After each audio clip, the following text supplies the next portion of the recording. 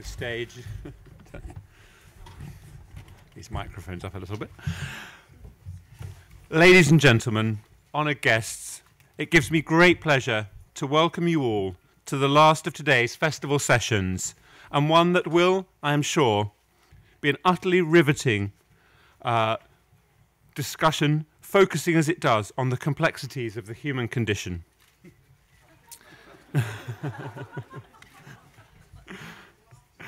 Bill Nicholson is a British screenwriter, playwright, and novelist who has twice been nominated for an Oscar. Bill started out at the BBC as a director of documentary films, with numerous works to his credit, before gaining renown as a novelist and playwright when the first book of his popular Wind on Fire trilogy won the Blue Peter Best Book Award and the Smarties Gold Award for Best Children's Book.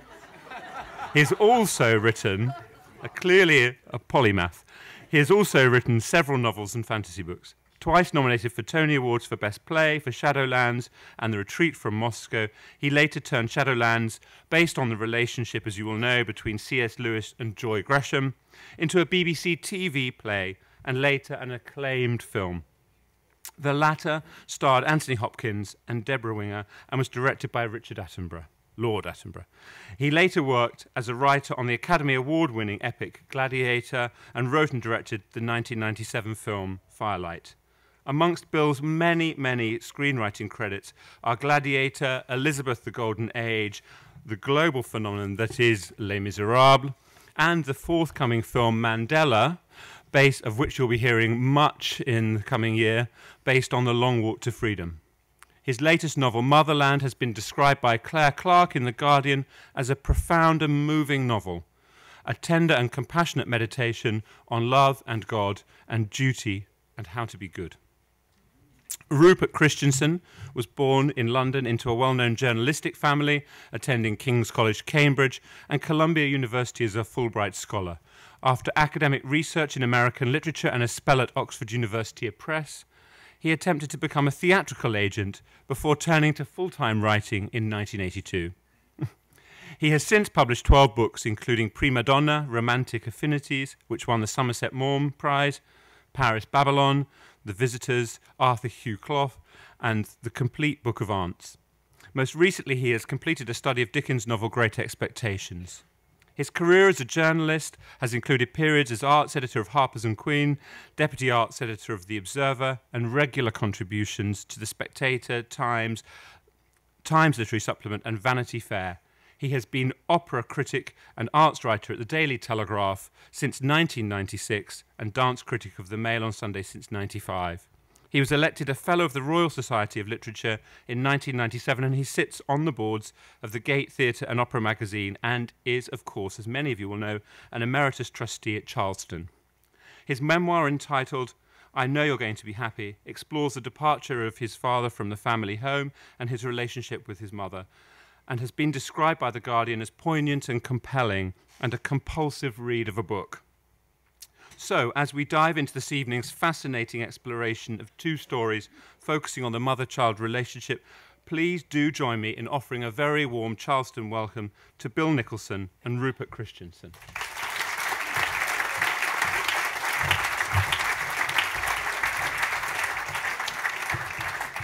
Uh, thank you very much, Alistair. But what you didn't mention was the most interesting thing of all, which is that uh, I used to be Bill's lodger but that's another story. Um, and a very long one.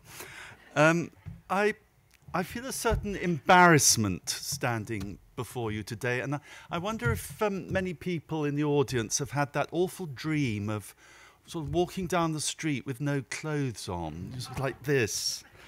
Um, and that's rather how I feel having written a memoir.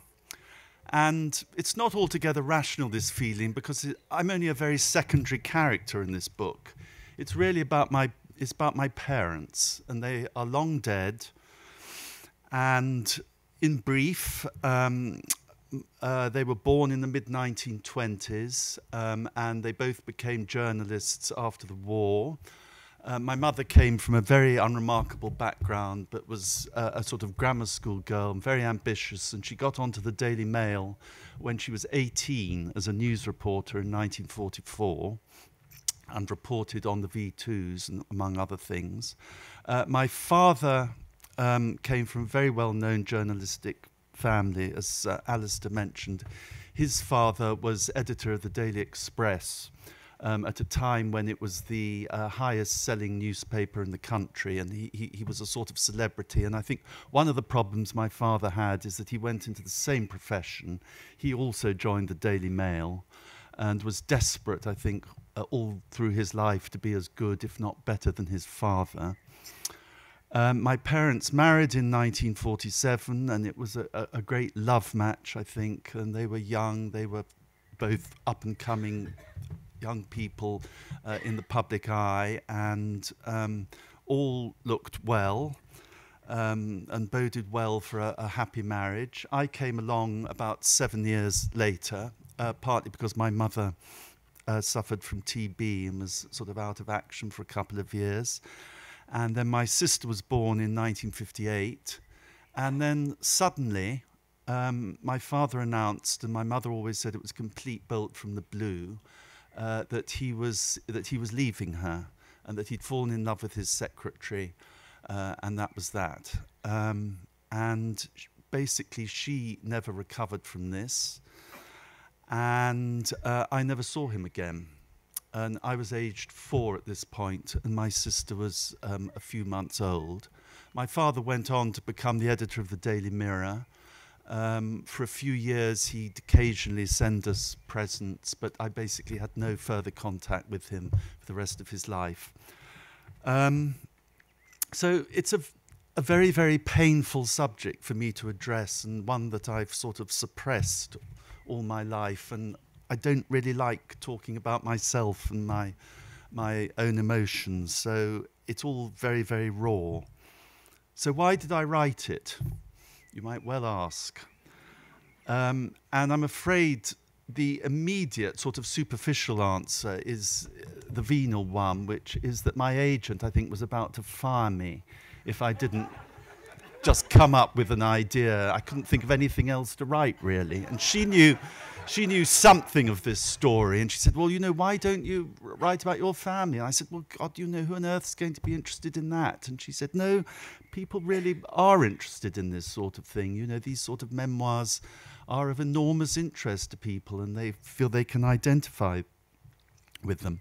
And then there were two other reasons things which encouraged me. One is that um, my father died in about 1984, but um, a cousin of mine, about seven or eight years ago, sent me a great stash of letters that he had written uh, home to his father during the war.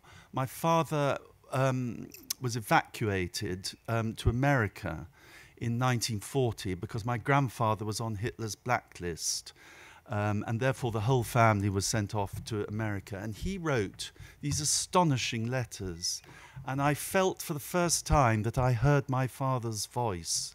And suddenly I became interested in him uh, and felt um, in his presence, if you like, in a way that I had never done uh, before that.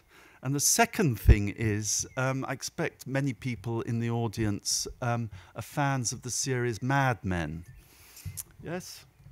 On television, yes? Some people. And will know who I mean by Don Draper, who is the rather sort of alluring, charismatic advertising agent. And this series was all set in the early 1960s. And Don Draper, I became a great fan of Mad Men, and Don Draper um, reminded me forcibly of a man that my mother had a, a, a, very intense and passionate love affair with in the 1960s. He was an American lawyer who was spending a lot of time in, in London, and I thought actually that would be something rather fascinating to write about too. But basically, the core of the book is about what it was like to be a woman stuck in the suburbs in the early 1960s with two very small children. And um, I'd like to read just two very short extracts from my book to give you a, a taste of this. We lived in a, a, a, Kent suburb, a sort of very pleasant garden suburb called Petts Wood, but it was really not a very nice place at all. Petts Wood was profoundly and incurably invested by an invisible skein of class markers proliferating like malignant cells. The road you lived in, the food you ate, the clothes you wore, whether you pursed your lips for prunes and prism, whether you went to the toilet or nipped to the loo, all these signified, as they did throughout the country at a time when the game of U and non-U, published by Nancy Mitford, was a major cultural phenomenon, both an anxiety and a joke. To imagine a system enclosing this would, I think, be misleading, inasmuch as there wasn't a grid that you could navigate or a ladder you could scale. Class didn't bludgeon or brand you. There wasn't a badge on your breast or a flash on your uh, shoulder. It was just something in the air, like an ectoplasm or virus, something you could never quite put your finger on, and certainly not something that could be precisely engineered or controlled or quantified. Breeding was an important word hereabouts too. Now altogether archaic, and even then spoken in, in, slightly hushed Masonic tones and used not in a strictly reproductive uh, sense, but in relation to etiquette, comportment, and dialect, as well as some sort of ultimate moral caliber. Good breeding, the mark of our Petts Wood, or so it liked to think, was a debased version of what Chaucer's knight would have called gentillesse and the Victorians' gentlemanliness, there are some things that a person with this X factor would just never do, and that included mentioning the toilet.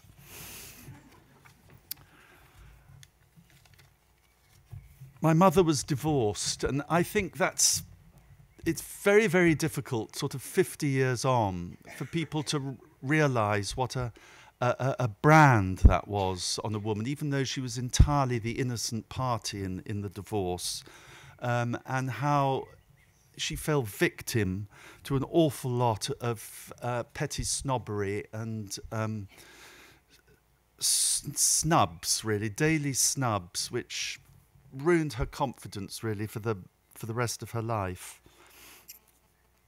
There was no yellow star or scarlet letter attached to my mother's divorce. She wasn't shunned or excluded, just subtly degraded looked at, talked about, pitted from a distance, and by tacit agreement marked down as a danger area. Only occasionally did anyone overtly remind her of her failure to meet the requirements for full club membership after the divorce, for instance, the unspeakably stupid vicar came round to commiserate and let slip that, of course, while she would be welcome at the church, the view of the diocesan bishop, blah, blah, blah, was that she could not take communion or belong to the Mothers' Union. My mother's Christianity was largely superstitious, but after this she would never step foot in that church again, and even now, when its attitudes have changed radically, I'm not sure I can forgive the Church of England for its unchristlike crassness. The school run was the conduit for gossip, an intimate environment where parents subtly interrogated their defenceless passengers and coaxed us innocent children into the unwitting betrayal of confidences and the exposure of concealed truths. I hear your mother is playing the guitar, said Mrs. Hinton one day. There was the hint of a curled lip in her tone, implying that this was just the sort of ridiculous stunt that could be expected of such a wayward person as my mother. It was the first I had heard of a guitar. My mother verged on the tone deaf, but being reluctant to admit ignorance, I replied rather cleverly, She's thinking about it. I had learnt to become adept at covering up. Subsequently, it emerged that my infant sister mispronunciation was to blame. On her school, her school run, what she had actually let slip was the rather less outre news that my mother had catarrh. Inf- information which I feel was willfully misheard and mangled to suit Petts Wood darker ends. No doubt this particular round of Chinese whispers ended by putting it about that my mother was about to join the Rolling Stones and appear on Ready Steady Go. Thank you. But so anyway, the real reason that I wrote this book is is to defend my poor mother who who died nine years ago, this weekend, in fact, whose life was tainted and ruined by divorce. And I think that was the case for many women of that generation. Um, and, and that's my theme, and that's why, in the end, I felt I had to write this book. Thank you.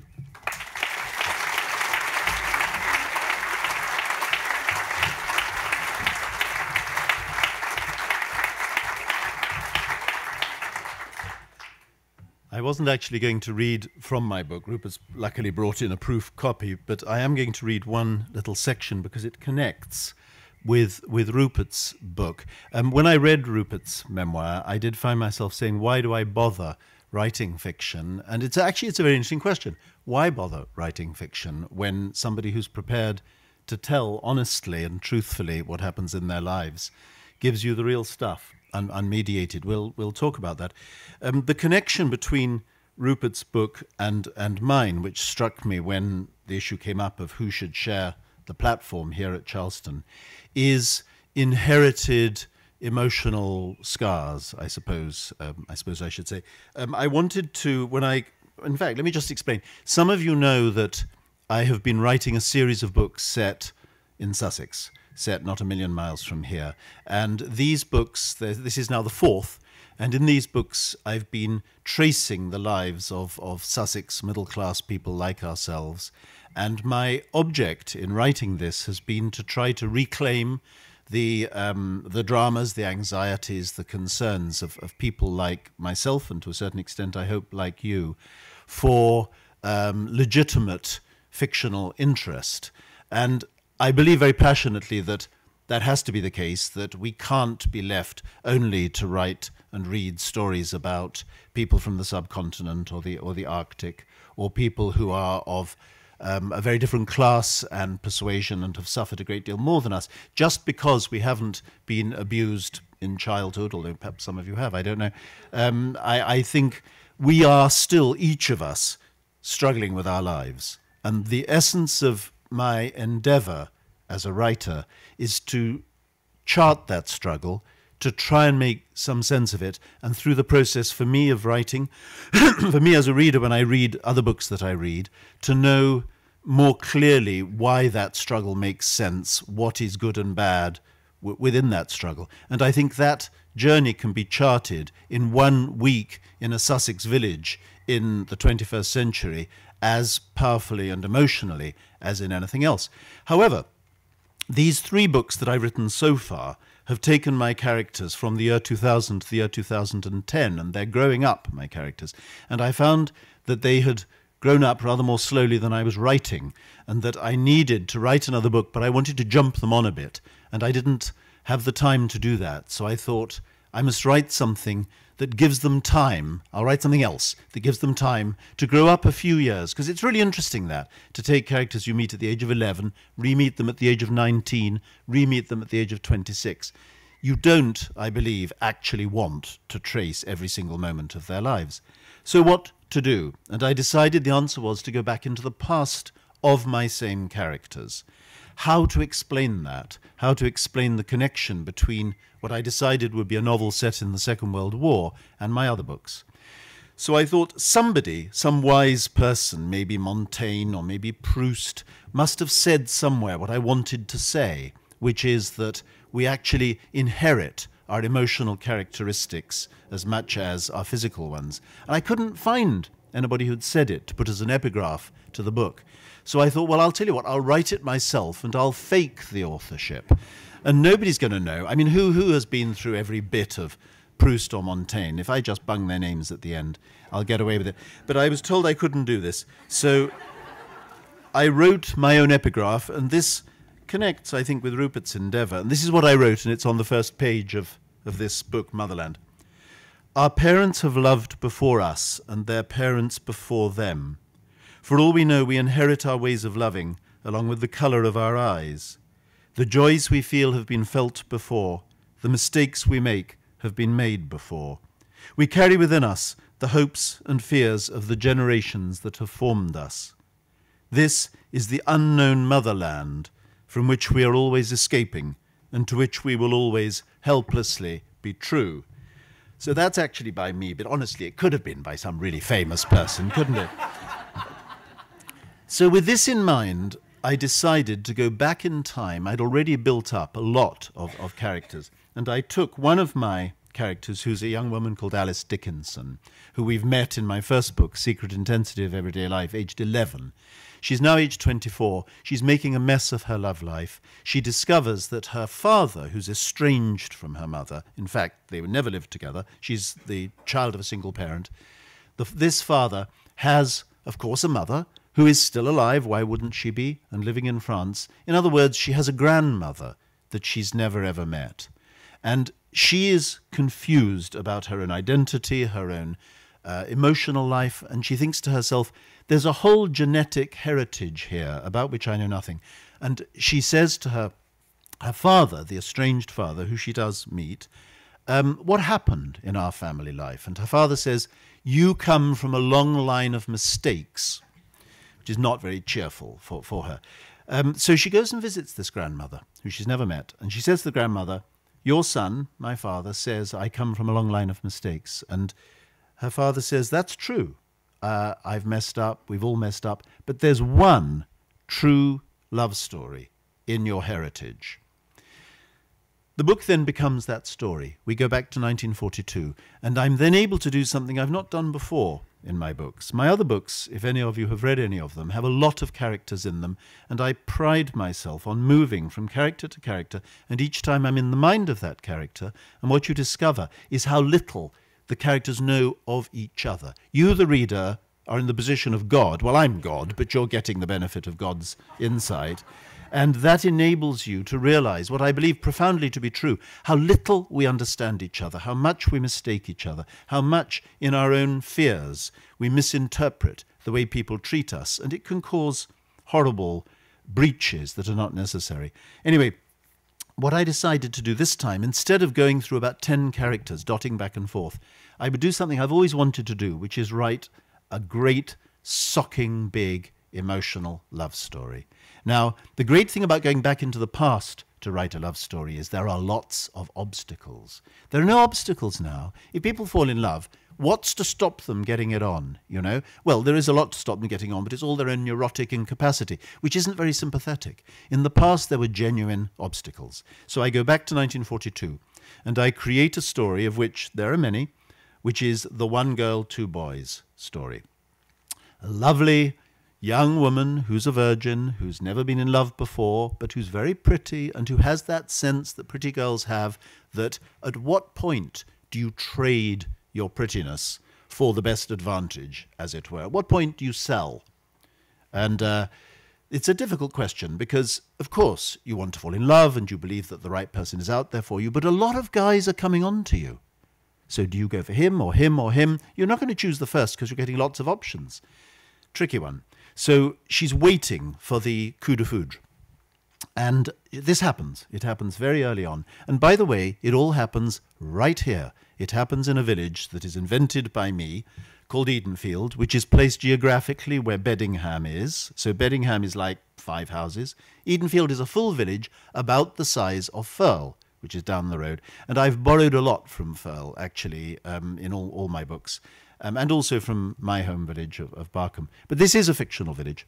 So here in Edenfield, in 1942, the big house and all the farmhouses are full, as I'm sure you know, of Canadians.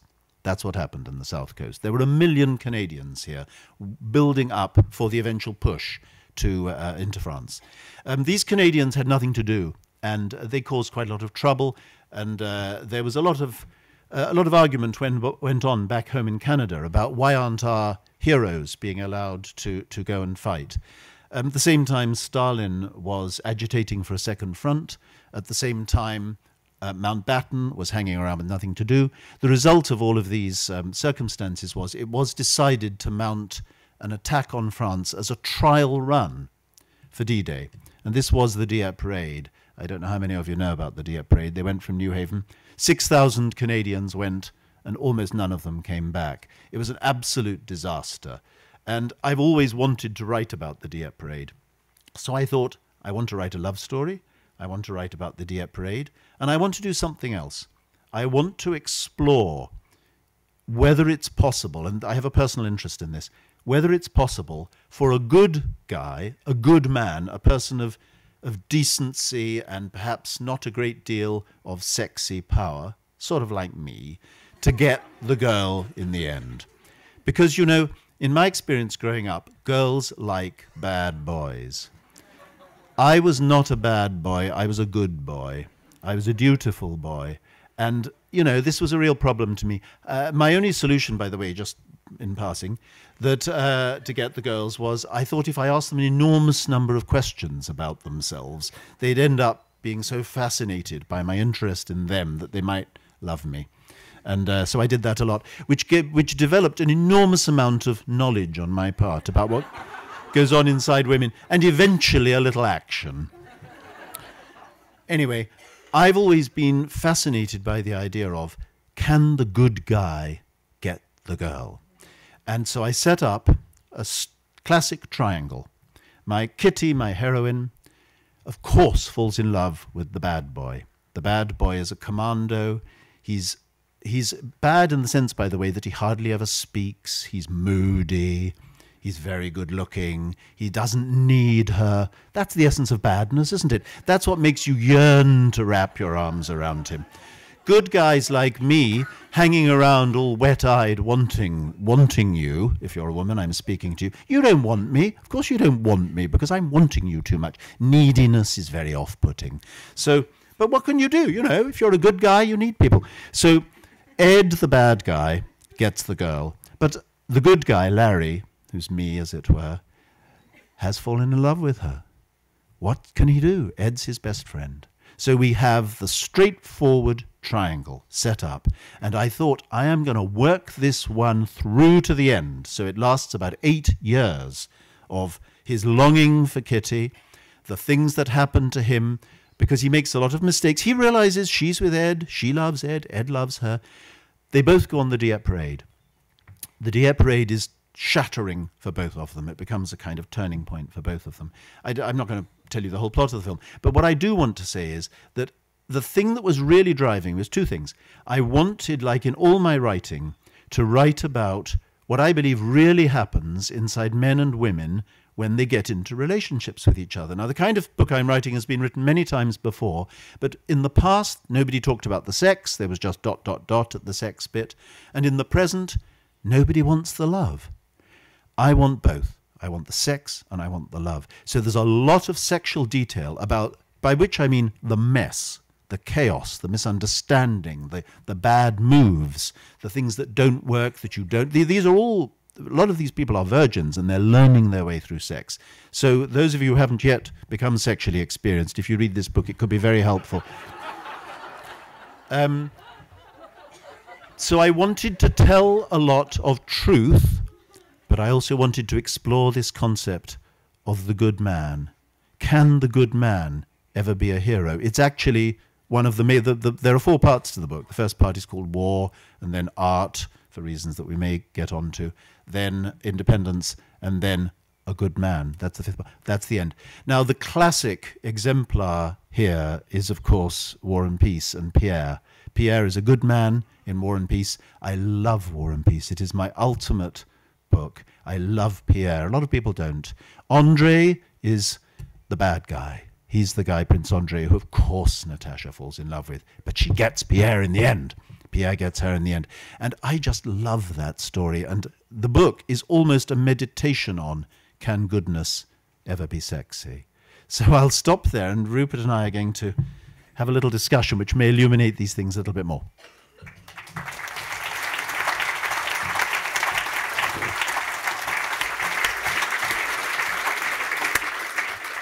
Interestingly, though, in the last pages of War and Peace, you get the distinct impression that neither Pierre nor Natasha particularly ha- is not a particularly successful. I totally marriage. disagree. They're having a wonderful time. I think Tolstoy really, really, but what he does is he tells the truth about a domestic situation. He doesn't idealize it, but I think it's a great marriage. Tolstoy, by the end, uh, later on he changed his mind, but when he was writing War and Peace, he really believed that that was a good That's how real relationships are. That's my belief. Yes, cer- certainly a very real relationship. But Andre's not a bad guy. Well, he's kind of He's mean. gorgeous. Well, he is. Go- he is. He is gorgeous, but, he, but there's something in him that's too held back. You know. He's. I mean, Pierre. Pierre is spending his whole time looking for answers in a kind of almost open, naive, just like me. I mean, I absolutely love this this search for meaning. And by the way, I mean, I don't know why any of you people read novels. We we we spoke earlier. Here's Rupert has written the truth. Here's me telling you a whole lot of lies. And what's more, my lies take about four times as long to read as his truth. So why would you bother with it? And the answer is, I think, because all the time we're trying to find equivalents of our actual experience. Uh, This is why I read equivalence of the truth of our experience that makes us grow, become wiser, know more about other people, um, which I get hugely from your book. Yes, I'm slightly worried that you think this is true. Ah, Um, it's it's poetically true. I think it, I wouldn't want anyone to take it all as literally true, simply because it is a memoir. It is what I remember. It is what I have been told. And although I have done a certain amount of research, I think if someone was writing a biography of the people in my book, it would probably be very different. And of course, I've already had several letters from people who were there at the time and who said, no, no, no, no, you've misremembered. That didn't happen, you know, or you got some detail wrong. Um, and even in the course of writing the book, I found myself sort of shaping my memories into something which would be artistically acceptable. I think if you write the literal truth, it could get pretty boring. So uh, a number of minor characters have been elided. Um, a lot of detail has been left out, inevitably. I still, I still stand by every word, but I wouldn't quite say it was literally the truth. I, I understand that because, of course, any it is an artifact. Well, it becomes an artifact. any partial version cannot be the truth because it's Yeah. selected. And, and that I know from the work that I do when I do, like I do film work on people's lives. And people say, Is it true? And I say, I've tried to make it represent the character truthfully, but it's not true and it can't be because when you select material, you leave stuff out, uh, uh, uh, of course. But you, um, when you wrote that, you were being true to your own feelings Yes. about Exactly. what it has done yes, to you. Yes, that's it's my it's And- my truth. And but but that's what is powerful. What's powerful? Hmm. I mean, if you read this book, it's a very painful book, I have to say. Um, uh, and the the pain which Rupert never speaks about openly, but you feel it all the time, is Rupert's pain. Although you talk about your mother's and you're writing about your mother's, which is horrifying. I mean, I, I, hadn't realized at all, and my parents split up um, a little bit later than this. I hadn't realized the, the, the situation, even in the 60s, of a divorced person. I, I, the, I didn't know how recently it was taboo um, and impossible. But the feeling I get as I read it all the time, I'm imagining myself being you and thinking, what did this do to Rupert? You know? What did it do to you? Well, I suppose the difficulty for me, because I never met my father again, is I feel there's a whole dark side of my personality which I have no access to. You know, There's 50% of my genes come from him, and I ha- have no real way of knowing which aspects of my behavior are determined by that 50%. Um, perhaps the most extraordinary little story which I might tell you is that um, the photograph on the cover of this book um, was taken um, by a photographer from my father's newspaper office uh, on the very day that he, he told my mother that he was leaving. Um, he invited the photographer down to take these photographs because he said he wanted something to remember us by. So he must have known at some level that he was never going to come back. Um, and that's, you can't really see, but that's me on the front there with my head in my hands. And I was four at the time. And I have this very, very vivid memory of watching the tele- of, of this tea party and this photographer appearing, taking these photographs, and watching the television. And it was a Sunday afternoon classic serial on the television. And there was a, a young man on it wearing black tights, and it was, it was sort of set during the Wars of the Roses or some period like that, in black tights and a tunic, and one of those funny sort of black medieval hats. And I remember thinking, I, I love you. I, I'm completely in love with you. You're absolutely gorgeous. I adore you. Um, and I've always assumed that this was a false memory. I couldn't. How could I possibly remember this? But I did a little bit of research um, and looked through some old editions of the uh, Radio Times for 1950, summer of 1959 because I knew that was roughly when my father left. Um, and uh, I did discover that there was a series called The Golden Spur by Constance Cox, which featured the young Oliver Reed, would you believe? As, um, and I think what I think what must have happened. I mean, and if I ever met Dr. Sigmund Freud, I'd like to discuss this with him. Is that I must have realised that my father was leaving at that point and transferred my love for him onto Oliver Reed on the television, and there it sort of has remained ever since. So that's one thing it does to you. I mean, you, you couldn't make it up, could you? You I mean, couldn't make it up. And I thought I had made it up. why do I bother? Except, except of course, I mean, because you know, Rupert has been gay for you know for ever since. Yeah. So, yes, just in case any of you didn't know, just to clarify that. So it all happened there at that point. So it's all done by trauma. That's what I now think. So it's an interesting question. But here's the thing: whenever when I hear you telling a story like that, my immediate thought is I can get that into a book. And I'm stealing all the time from, I mean, any of you who, who know me and take me aside and tell me stories, watch out. Because, as with all writers, we do steal these things and insert them into our own stories. So, in a strange way, fiction isn't fiction.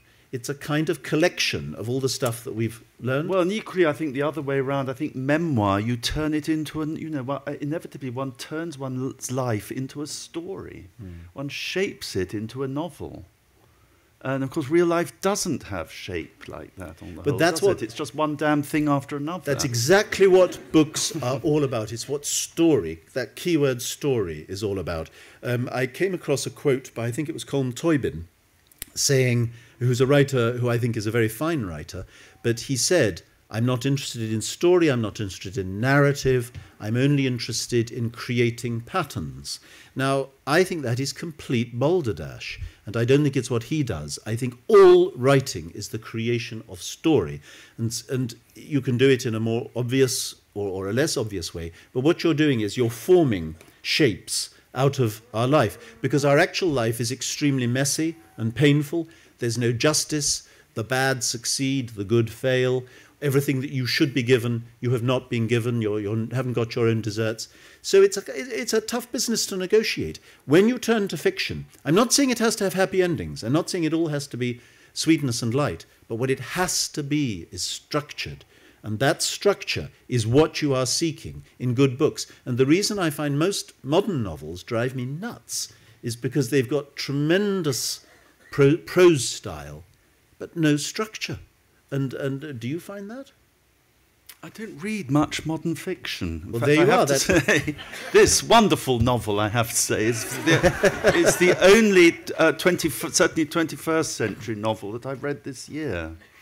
I'm ashamed to say because I find most yes, I think from exactly the reasons that you've been saying, I find most modern fiction there's something very paltry about it.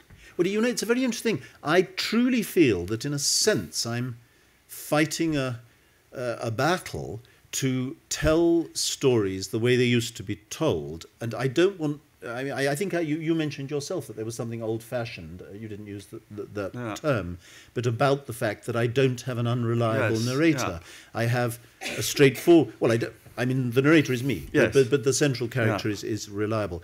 I'm not attempting to play postmodern games. I think we all went up a terrific blind alley in every art form visual, music, and, and literature by trying to essentially create texts for the academy. I think that's where it's all gone wrong.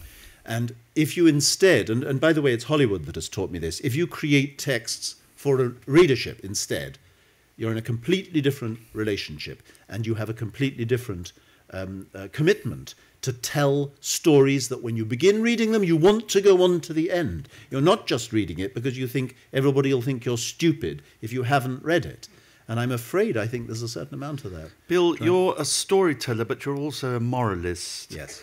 Now, how do you combine the two? How do you get the morality through the story, if you like, without doing sort of finger wagging parsonical sermons like George Eliot does at times? Well, I mean, George Eliot, I love. Yes, I, mean, I love the, her too, The, the, the tradition that I would wish to be in is the tradition of George Eliot, Ruskin, Tolstoy, Proust. That's that's the the lineage. These are all moralists. They're all obviously very very great, and I'm very very tiny. you? Sometimes Tolstoy doesn't really, Sometimes does they do. Well, he didn't In the War and Peace. in his great books he doesn't he does Yeah. later they, sometimes they do and sometimes that's not good and lecturing isn't good and how to avoid it is is the perennial problem but i think that in a way if you say to yourself i love my characters and i care about what happens to them you become a moralist if instead you say i'm not interested in my characters i'm interested in the form of what i'm constructing. Or, then what the hell is going on? How mm. can you be a writer and not be a moralist? I don't get it. Mm. Everything you're writing is about the values by which we live. You i'm affirming every, every page you read of mine is affirming my values whether i want to or not. And, and I, I- I just don't see how it can be otherwise. And by the way, the same is true of this. Everything in this is affirming your compassion and your need not to be treated the way you were treated for your wife. Not there, there- there's a, a covert instruction all the way through. Don't behave like this, isn't there? I suppose so. Uh, That's interesting. I've never, th- I've never thought of that actually, because as I say, I'm not quite clear what my motives for writing this But book you're not- were. you're not apart approving. from defending my, defending Exactly. my mother, who I feel justice was never done. to. Exactly. You're not approving the way your father acted, even though you don't know what pressures were on him. I mean, when mm. my parents split up, I watched them for years before they split up. And in a way, it formed a lot of my fundamental attitudes. I saw two good people torture each other to death. And eventually he left, causing enormous pain to my mother. But I could see why he couldn't stand it anymore because I was a grown up. You weren't a grown up. So if I were to write, as I have written uh, uh, about that, it would be with infinite sympathy for both sides. Well, I suppose that's one thing about the 19th century novel, isn't it? It is a great grey moral area. It is moral, but fundamentally moral. Those writers you mentioned are all moralists, but it's not a sort of black and white morality, is it? There's absolutely. Sort of everybody's in the grey area. Pierre and Andre. And that's The- all of them. caused by the author being emotionally hmm. involved with their characters. Yeah.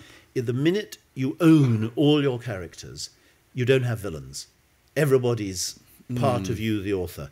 And uh, this is why I don't, silly example, I don't like Roald Dahl. I think Roald Dahl writes out of anger. I think it's there's a sort of rage drives the um, energy of, of, of what he That does. can be very powerful. It, it, well, it is. It is. And Philip people, Roth and people love it. out of But I- purely but I- negative I can't stand emotions, it. I but can't it's stand it. it's you're gripped by it. You're you thrilled are. by it. I throw it away. I, I just don't want. I don't want all that stuff. I feel this is bloody, vain, egotistical person whinging on because life hasn't given him a beautiful body. I mean, come on. What fascinates me about Motherland, and I think it's probably true of all your novels, is th- the great extent to which the whole thing is driven by dialogue. You are not actually a very overt or very present narrator. Um, presumably, this is something. Dialogue is something you got very good at through screenwriting. I don't know. I don't know. I, I maybe I'm not aware of it.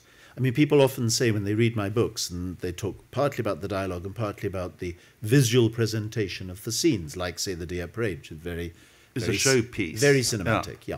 Or the Indian independence riots, which come into the book. They say, "Oh, I can tell you're a screenwriter," and I want to punch them because I want to say, "Yeah, yeah." And you know what?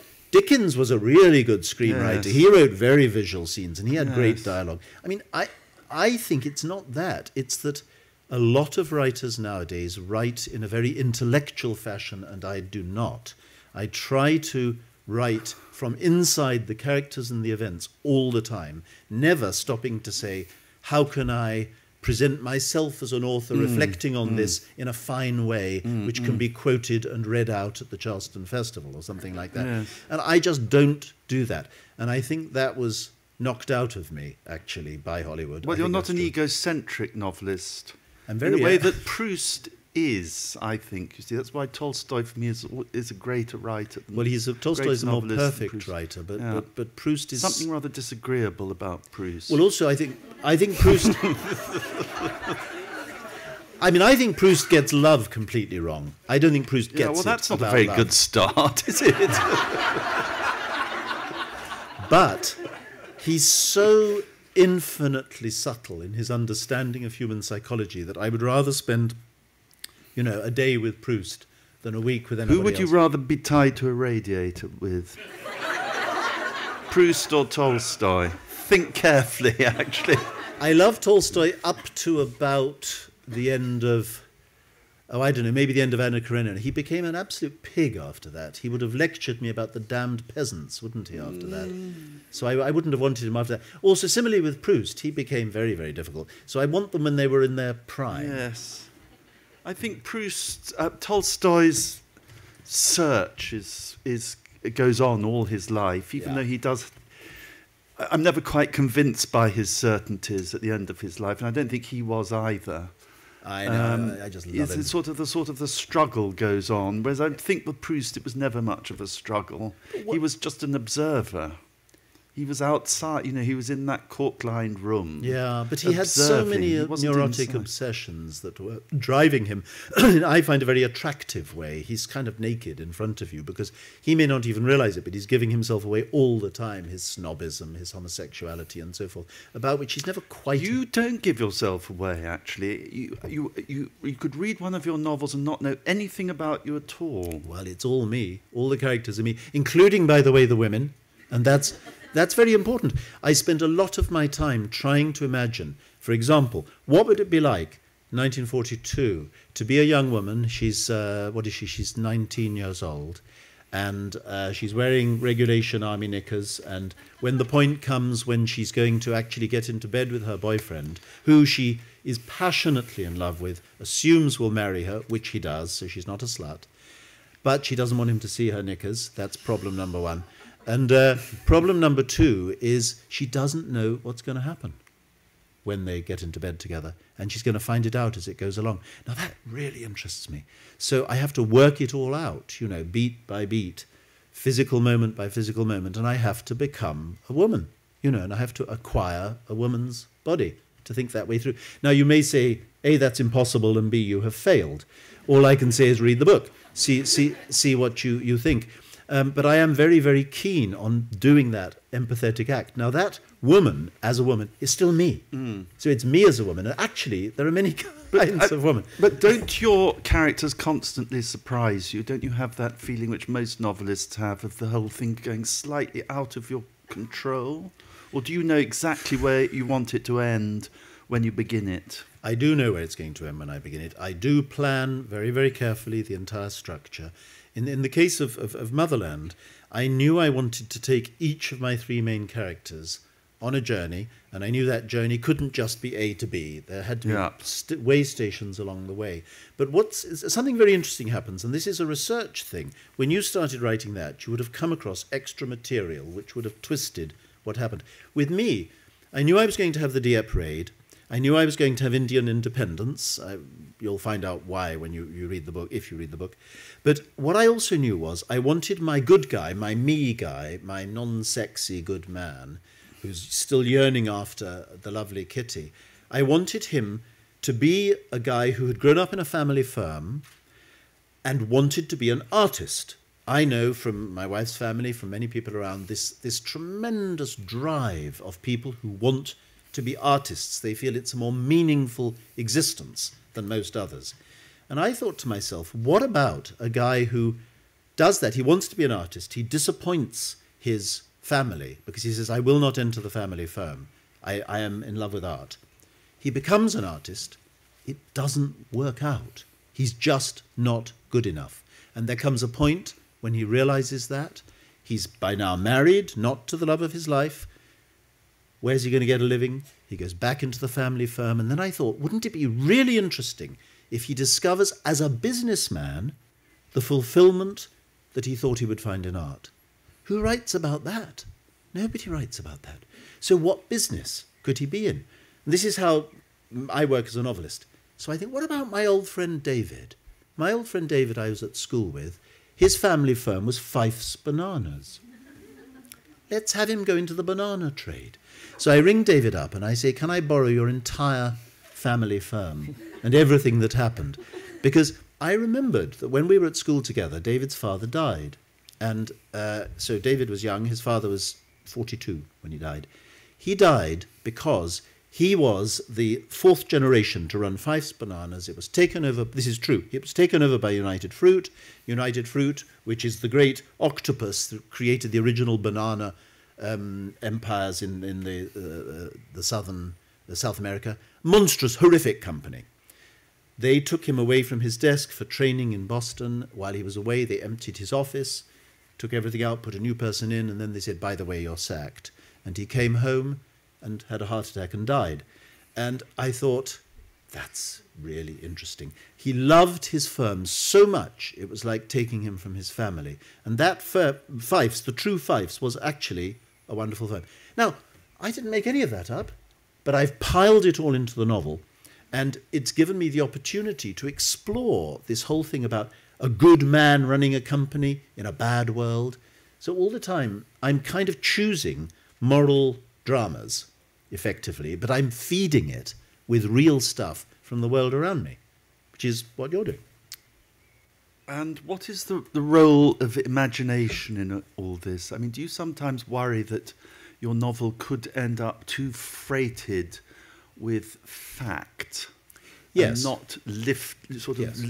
uh, uninflated Yes. by the reality of the imagination, as it were. But it's not the reality of the imagination that lifts it up. There sort of isn't any imagination, actually, because anything I can imagine is only something I've remembered or met or found. I can't make anything up. I can add things together in new ways. I can Hmm. That's give wings to a I pig, but I've seen up. wings and I've seen pigs. You know, so that's what people call imagination. Don't you wish you could make something up? I'd love to make something up. But by definition, it wouldn't exist if it came from nowhere and didn't connect with anything. What you do instead, the way you lift the great mass of facts, and this applies to what you do and all the people we've heard at the Charleston Festival, the way you lift up a factual story is through the emotion of the characters. If you invest in the emotion of the characters as a reader, the facts trot along behind. Then it works fine. If you're telling people to care because of the fact, it ain't going to work. Don't you What think? about? mm, I'm not sure. What about the great romantic poets? Poetry is completely different. It really is. I mean, we're talking about creating a sustained alternative reality when we write a, a, Hmm. a a book. But a poem really is a completely Hmm. different different matter. If I was to write about it, I actually am writing now about Emily Dickinson. I'm writing a novel. It's in the same series, believe it or not, but Emily Dickinson gets in, and I I'm imagining being Emily Dickinson, um, who is a poet I absolutely love. It's just an excuse to get a lot of her poems into a book because I find nobody's heard of Emily Dickinson. Oh, they have. Of course, they? they, have. Everybody here heard of Emily yes, Dickinson? Yeah, yeah. yes, yeah. Have you all read her? Did you know that her brother, her 55 year old brother, pillar of the community, fell in love with a 24 year old wife of another professor in Amherst, Massachusetts, and had sex in Emily Dickinson's dining room? You did not. with Emily Dickinson guarding the door? Isn't that amazing? It's all going to be in one novel I'm writing coming up. Well, Bill, all this is very, very useful to me because, uh, in fact, you're, you're giving me a masterclass. You don't know this because um, I have been trying to write a novel and failing dismally. I uh, did a lot of research on it. I thought I had a marvelous subject. I've never tried to write fiction before. I've written 30,000 words. I put it aside for a month and then went back to read it, and I thought actually it's just it's just not very good. So But I you may put have it been in wrong. the back You may have drawer. been wrong. I put it deep in the hard drive. You see, here's a problem. We Um, heard. We it heard. doesn't. It's got no air in it. Well, we heard it's Mark all Haddon, research. Didn't we, saying that he'd got three quarters of the way through a novel and then had realised it hadn't worked and had chucked it away, which amazed me. But what I want to say about that is, all of us writers, or indeed everybody in whatever field you're in, we live with two goblins on our shoulders. One is the one that whispers in your ear saying, You're a genius. and the other one that whispers in your ear, Everything you do is shit. You know? And it's a matter of what you listen to, how far you can keep going. And the way to shut up the bad goblin and keep the good goblin speaking is to say to the bad goblin, Yes, I know, I know everything I do is no good, but I'm not doing the real thing yet. This is just work in progress. It'll get better. Be, give me a chance. And with your book, give yourself a chance, go back to it, and stop thinking it's got to be perfect, you know? And No, maybe. no, nothing to do with perfection. In my case, I just think I haven't got the, the imagination. I'm interested you say that you don't think you need imagination to write a novel. I just cannot sufficiently imagine what I'm writing about.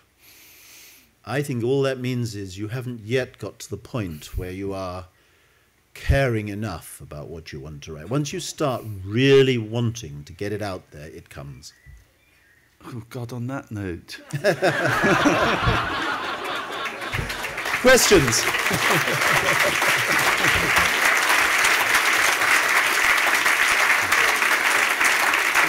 we're these ourselves. Yes.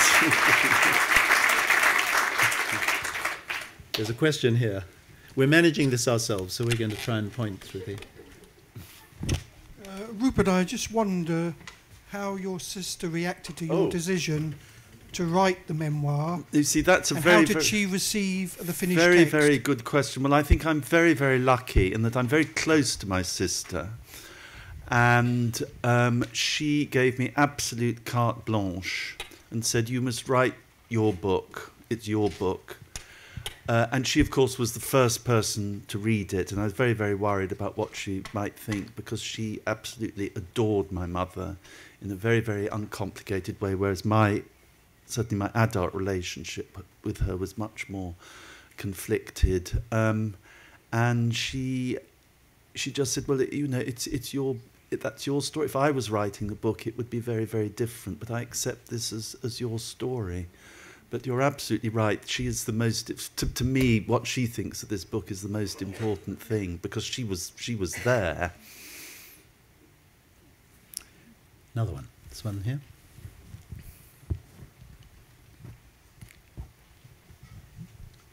Um, if it's not too painful, Rupert, can I ask um, whether you or your sister ever tried to get in touch with your father, perhaps as adults, to get his side of the story? No, you see, that's it's the very balance that uh, very Bill interesting that we didn't at all. And do you know what the explanation I think is? I think I was embarrassed. By the time I was a teenager, I just thought, "Oh, what on earth do I do? I can't ring him up. My mother did say to me, if you want to go and see him, that's fine by me. And I don't think she really meant that, but she did very bravely say it. But I just thought, what would I say? Hello? Uh, there was an awful moment when he died, and we decided we couldn't go to the funeral. And my mother said, I think you'd better send some flowers. And so I went along to Interflora to the florist and ordered some flowers. And then I thought, I don't know what to put on the card. I don't know what even what to call him. Do I call him Dad? Do I call him Daddy? Do I call him my father? I didn't even have a name for him. Um, but I think the reason in my teenage years I never got in touch was just because I, I just didn't know what to say.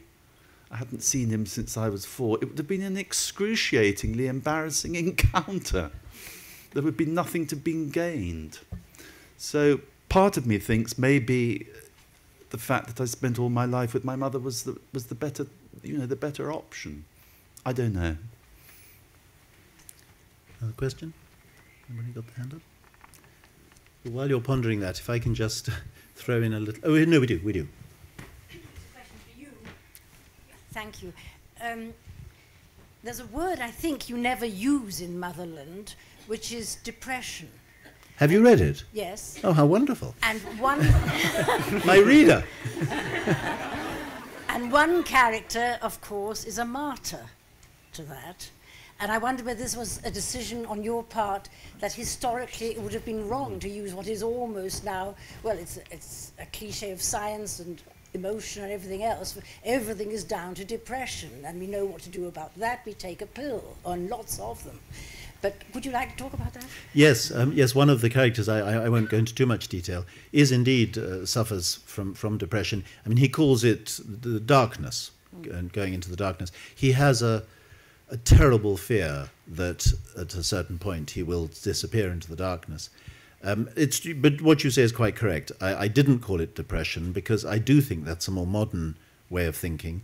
Um, I, I think uh, you know people, of course, way back talked about melancholia. Well, also depression possibly is clinical. Yes. Whereas his relates to this very specific trauma, Uh, well, that's true, but I think I do suggest that he's that way from the beginning. yes. he was that way was at coming to school. Mm. you know, that he had that kind of way of being in him. Um, also, I didn't, but I didn't want to clinicalize it. I wanted the, it to be his character, not his diagnosis. Um, and so, but I was very interested in that. I mean, I, my my um, my mother is is a depressive, um, manic depressive, and I've lived with this. She's still alive, um, all my life, and watched it, and know quite a lot about it. And my mother indeed has pills, as as people do nowadays. They they wouldn't have done then.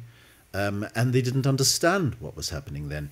But you know, even though we now understand so much more about it, a part of me still thinks depression is a legitimate response to terrible circumstances. Um, and in the case of my character, my feeling is he's that way because his life has made him that way, not because his brain is wired wrongly. I may be quite wrong about this, it's a very big subject. Um, but that's why I think I wanted to do it as in character terms, not in medical terms. Did you like the book? Oh, she's not sure. No, no, it's not true. It's not. I'm not sure. Um, which is a very, very ambitious. Tries Talk- hard. Yes, talking about life, and of course, ever so often I'd say, yes, you've hit the target, and nobody else has said this quite before. Yes. And I was very, very glad. And other times, for instance, Kitty and singing. Yes. That's a great moment when Yes. she sings. Yes. And it's a great moment for her. But nothing else comes of it. And if it mattered that much to her, she'd have, she'd have sung again. Yeah, you, you should have spoken to me before I finished the book. I could have corrected that mistake. it is a big, ambitious book. Uh, do uh, any other questions? Yes, here. Now, two things for you, Rupert. Um, one, we were talking about the stigma of divorce in the 50s and 60s. And you were saying how this would have affected your mother to a certain extent, and probably to a large extent. All young children wish to, most young children wish to conform. The one thing I remember at school was desperately not wanting to stand out. So, first of all, how did you how did this affect you personally and your sister when you were going through your school days?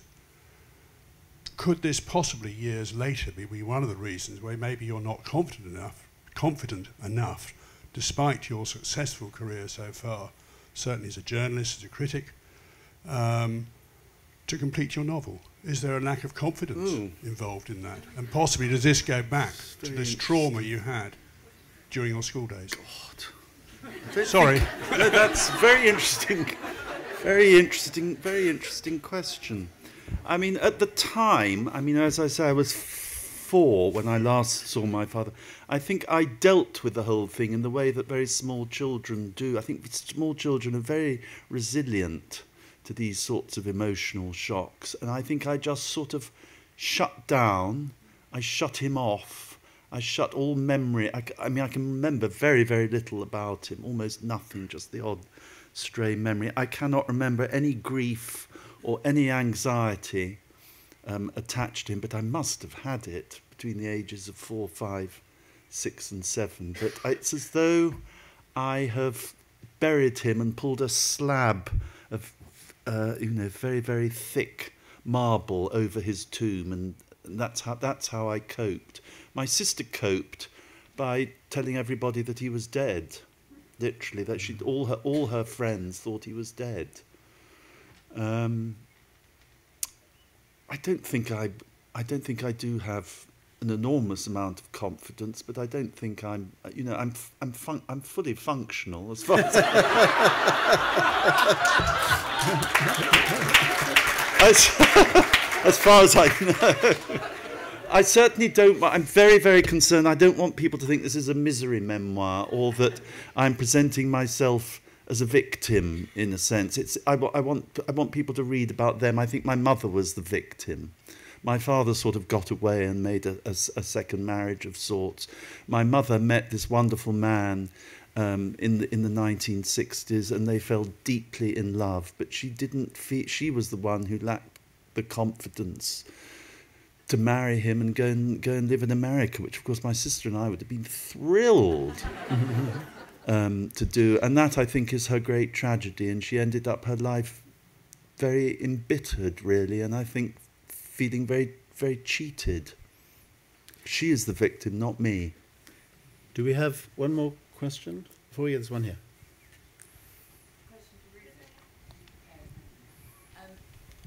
When you, when embarking on a sort of autobiographical work, how important is it that the main characters are already dead? I think it's hugely important. I mean, my, my mother, as I said, died nine years ago this week, this very weekend, because I was actually down at the Charleston Festival the night that she died. Um, and um, no, I, uh, uh, it's so it's taken me sort. It took me sort of almost a biblical seven years um, of uh, uh, uh, of her being dead before, and my feeling that she she had sort of properly her spirit was quiet, if you like. Um, before um, I could undertake, and I don't know how people like Lim Barber um, could write her very, very good memoir um, of her um, teenage years when her parents were still alive, even though they were, I think, in in um, they were de- demented, but that's not the point. So I think it is very important to have that gap of time, and there's I, I think a lot of a lot of thought about. You can only really begin to see your parents in perspective when they're dead. You know something that struck me very much when I got to the end of your book. We've been talking about artifice and Yeah. structure and storytelling, but actually, one of the very powerful feelings I had at the end was you do not claim to have understood everything, to have reached any conclusion, to have tied things up.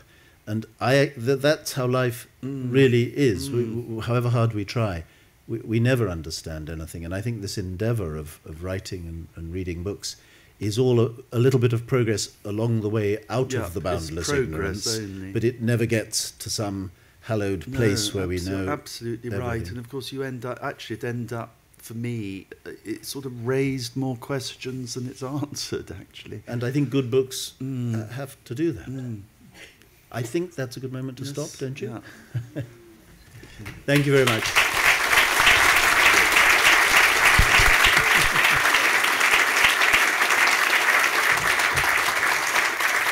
Well, I, I'd really, on, I think, on probably, hopefully, on behalf of us all, really like to extend a huge vote of thanks. Firstly, to Rupert for his courage in discussing clearly, you know, a period um, that was, you know, hugely painful and very raw, but but but beautiful and poignant at the same time. And um, you know, I will take away that sort of misremembering of his memoir and and and and that it's a poetical truth, I think. And and and but this evening has also been, for me, very very thought provoking, not least on the blurring between fact and fiction, and as I said, a misremembered memoir and a somewhat fact based.